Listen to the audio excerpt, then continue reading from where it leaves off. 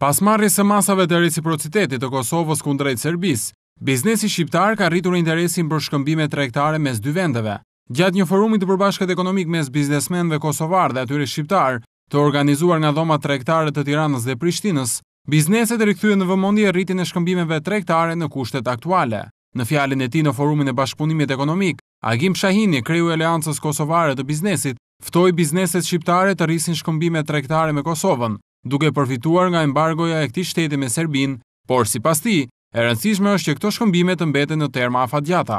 Ky forum ka për një qëllim që shtetet tona të rritin shkëmbimet tregtare, Aleanca e Biznesit po tenton që shkëmbimet tregtare të cilat kanë qenë një kohë tradicionalisht me Serbinë, të zavendësohen me prodhime dhe shërbime të shtetit shqiptar, ky forum ban thirrje që bizneset e Shqipërisë të vijnë në Kosovë. Nga ana tjetër edhe kreu i Dhomës së Tregtisë së Tiranës, Nikolin Jaka pohoi se ky është momenti i duhur për unifikimin e dy tregjeve, nga pikëpamja ekonomike. Tregun tonë nuk duhet ta shohim në rrafshin e politikave të momentit, por ai duhet parë një këndvështrim më të gjatë, duke hartuar plane afatgjata, jo komerciale dhe të retorikës së momentit, për të bërë dhe për të parë bashkarisht atë që sot duhej të ishte një treg prej afër dhjetë milionë konsumatorë.